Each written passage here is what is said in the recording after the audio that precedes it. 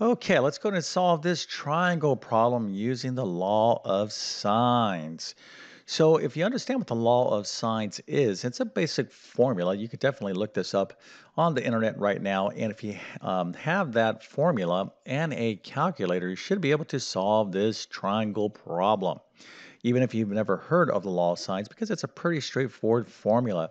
But let's go ahead and take a look at this triangle problem. You can see here we have all the angles of the triangle, but we only have one length. Okay, we know the side of this triangle is 27. So we want to solve this triangle problem, which means that we want to know all the sides and all the angles. We have all the angles, we have this side, but we don't know what sides A and C are. So this is a problem for the law of sines. Now, if you're interested in this um, particular video, if you're like, oh, law of sines, I'm studying for that, well, that means that you are taking trigonometry, which is an awesome course. But I can tell you right now, uh, most people will be taking trigonometry or like kind of higher level, more advanced level trigonometry as part of a course like, say, pre calculus. It used to be years ago that trigonometry was kind of like a standalone uh, semester course. Some colleges and schools still offer trigonometry that way, but it's far more common to be taking tri- trigonometry as part of a course like pre-calculus or like advanced algebra, uh, something along those lines. But anyways, if you're in any one of those courses, you're absolutely going to have to understand the law of sines. So if you think you could do this problem, and I think you can do this uh, problem, uh, go ahead and put your answers into the comment section. I'm going to show you the correct answer here in just one moment, and we're going to be talking about how to solve triangle problems uh, at a little bit more advanced level where you need things like the law of sines, and there's actually another law called the law of cosines. I'll talk a little bit more about that in a second as well. But uh, before we get going, let me quickly introduce myself. My name is John. I'm the founder of TC Math Academy.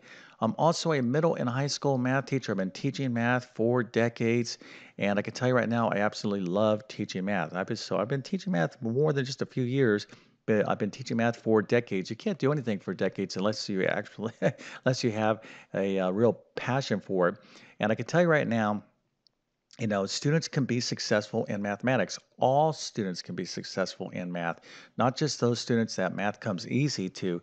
So, if you are failing math right now, if you're struggling math, or if you hate math, if you failed math before in the past, you can be very successful in mathematics, far more than you probably believe right now. Okay, but what you need is the desire to learn math. Okay, so you, if you don't want to learn math, you're not going to learn it. So you, you got to want to uh, learn math. The second thing you need is some encouragement. Hopefully, you have an excellent math teacher right now. But the final and most important thing you need is great math instruction. Math instruction you actually understand, clear and comprehensive. So, if you need help in your current math course, or maybe you're studying for some sort of really special important exam in your life, something like the SAT, ACT, GED, ASVAB, teacher certification exam, something that's going to have a lot of um, importance for you getting into college or placing into a particular program. These tests, you know, are very, very important. Anyways, I have a large library of test prep courses.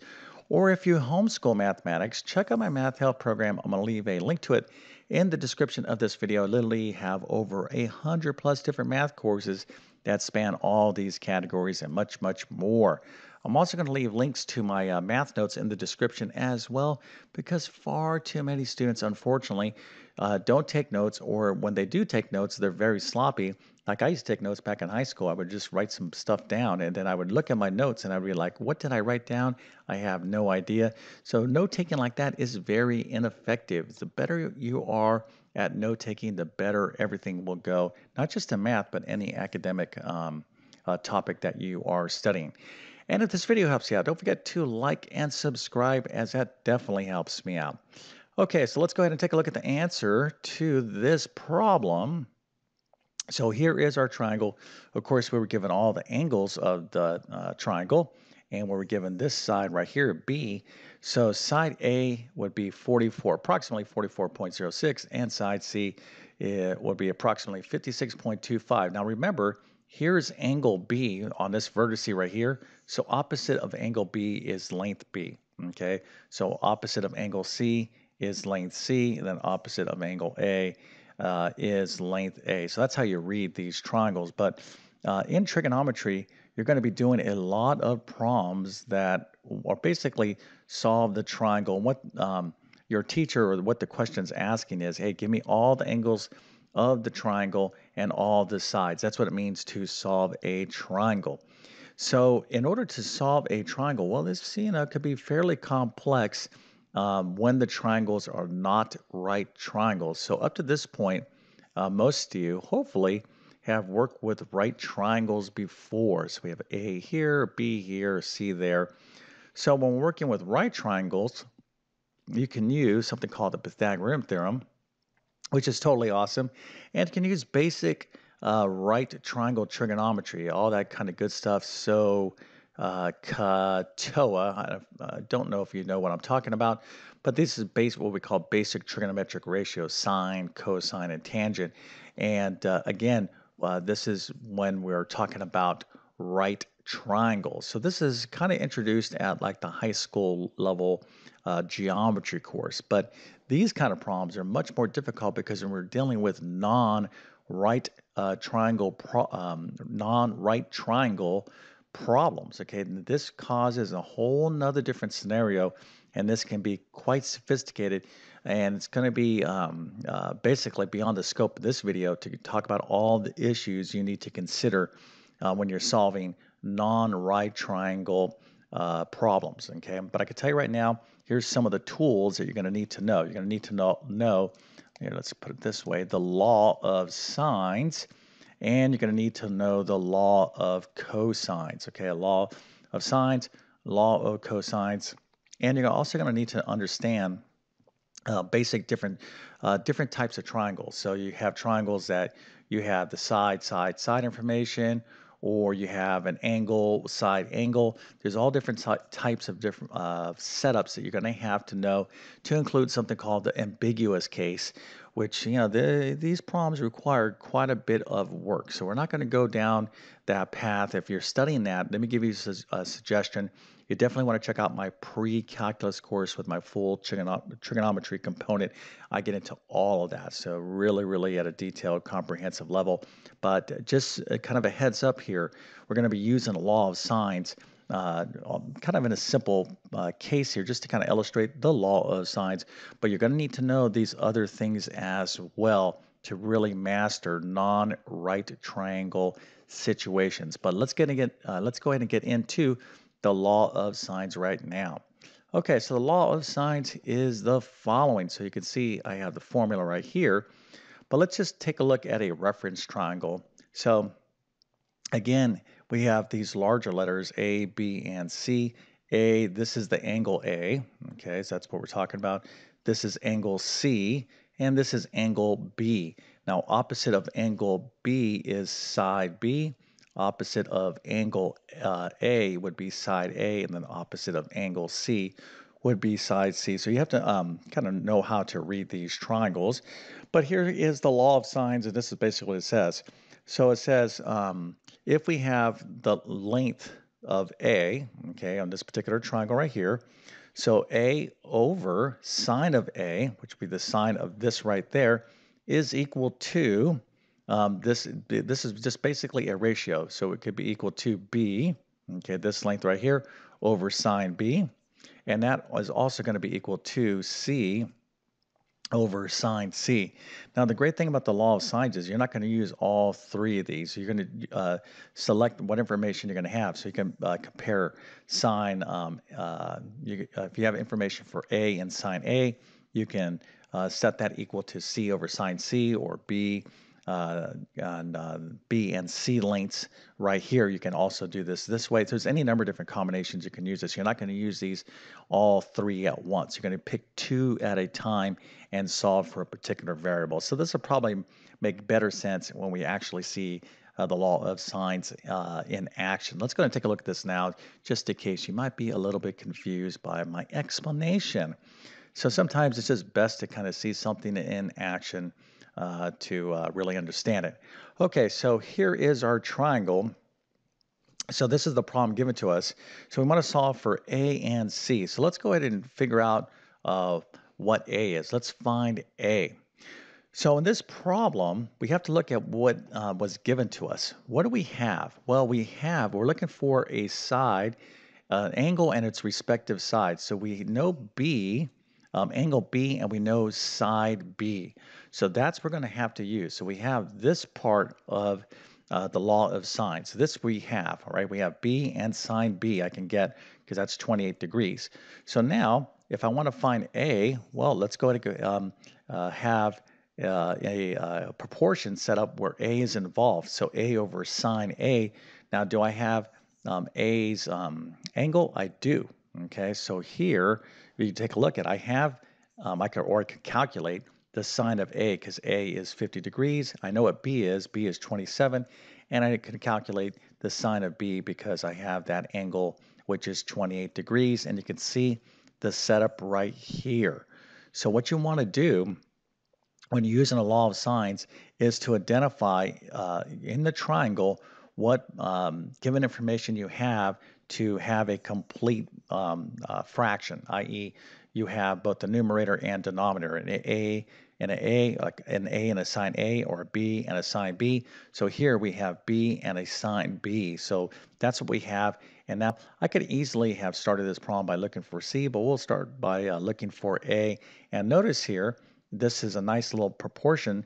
The only thing that I'm missing, I have sine of A, which is again sine of 50. I have uh, B, okay, which is 27.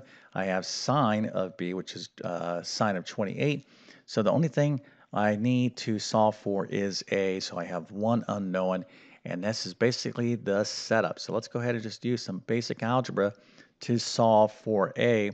And how are we going to do that? We're simply going to use the cross product. Remember, this is a proportion, so we can simply cross multiply. If you don't understand proportions, well, and you're at this level of math, then you definitely need to uh, do some review. But basically, to solve for A, I can simply cross multiply. All right, so it's going to use a cross product here to solve for A. So it's going to be A times sine of 28 degrees. We'll write that there, right? So A times sine of 20, sine of 28 degrees. We'll write that there. And then 27 times sine of 50 degrees. We'll write that right there. Now, let me give you a little bit of a tip here. Um, do not start um, calculating out the sine of uh, 28 degrees, sine of 50 degrees. Don't do that yet on your calculator. You want to use your calculator at the very end, all right? Do all the algebra first, and then you can use your calculator to actually compute the answer. All right, so um, you do have to be aware, though, that the sine of 28 degrees and the sine of 50 degrees, are just, these are just numbers that we can get decimal values on our calculator. So here to solve for A, okay, that's what I want to do, I simply just have to divide both sides of the equation by sine of 28 degrees. So you're going to end up with this. A is equal to 27 uh, times sine of 50 degrees divided by sine of 28 degrees. Now we go ahead and get our calculator and we do all this number crunching. And if you do this correctly, you're going to get A is equal to 44.06. Now, the one thing you need to be aware of when you're using your calculator is there's two modes. You have a degree mode and a radian mode. Okay, because our angles are given to us in degrees, you got to make sure your, your, calculator is in degrees. And uh, trigonometry students are famous for working obviously you're you're working both in degrees and radian modes. So when a student works in radians they forget to switch back to degrees and they do a problem and get the uh, wrong answer. They do everything right but their calculator is in the wrong mode. So if you're taking trigonometry you have to be very aware before you start doing anything with your calculator to check to see hey it's in the uh, correct mode. In this case it needs to be in the degree mode. All right so that's how you uh, you basically solve for that side a okay, so let's take a look at what we have now. So we have this side, we have this side now, so A is approximately 44.06 because we're dealing with uh, trigonometric uh, values. They're large decimals. Uh, you know, this is going to be an approximation. So now how do we get uh, C? Well, you have all different sorts of options. I'm going to use uh, B's information, and then we'll use C's information. We'll set up with the law of, of uh, sines, right? So we have the angle for C. We're looking for C, and we were given B's uh, information. I'm using B because B is given to me as 27. I don't want to use an approximation, so I'll use something a little bit more accurate. And then we will be done. But let's go ahead and do this work right now. All right, so let's find C. Again, we're going to use the law of sine. So C over sine C is equal to B um, right there, B over sine B. All right, so this is how we use the law of sines. Any two uh, angles and sides you can compare A, B, C, doesn't make a difference. So let's go and do the setup right now, right here. Okay, so C over sine of C, which is 102 degrees, is going to be equal to B, which is 27 over sine of angle B, which is 28 degrees. And again, we're going to use the cross product to solve for C exactly as we did with uh, uh, side A. So again, don't do any computing until you finish with the algebra. So we're going to go to uh, do the cross product. So C times sine of 28 degrees is going to be C sine 28 degrees is equal to 27 times sine of 102.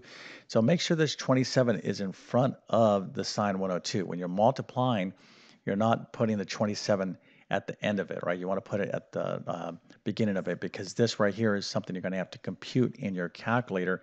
Then you'll multiply that by 27. So to solve for C, we're going to take this whole thing and divide it by sine of 28. You could just follow the simple algebra right here. And then we'll get our calculator out in degree mode.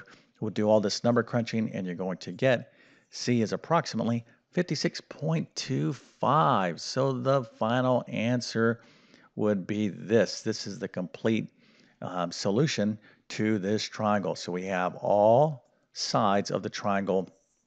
And of course, we were given all the angles of the triangles uh, originally. But this is what it means to solve a triangle. And again, this is uh, an illustration how we can use the law of sines, but you're going to have to use the law of sines uh, for a lot of problems, the law of cosines, and you're going to have to understand you know, how you use these in various scenarios. This can get fairly complicated. So if you're like, oh, I totally get the law of sines, that's excellent. It's a good place, but you need to understand the law. Whoops, I put the law of sines twice, the law of cosines. Okay, you're going to have to understand uh, both of these laws separately, okay, and then how to work, how to um, solve them uh, together, right? Because oftentimes you're going to have to use both of these laws together to solve a triangle uh, uh, problem in more advanced trigonometry. So again, if you are studying this and you need additional help, definitely check out my uh, pre-calculus course because I get really, really, really uh, in thorough detail and how to solve these type of situations in trigonometry. But hey, maybe you're just new to the law of sines and you found this interesting. Like, hey, you know what? I kind of understand that, and that's excellent. Okay, you, you know, we don't have to make this overly complex because you know uh, you have the basic sense of what the law of sines is and how we can use it to solve triangle problems. Okay, so with that being said, I definitely wish you all the best in your mathematics adventures. Thank you for your time and have a great day.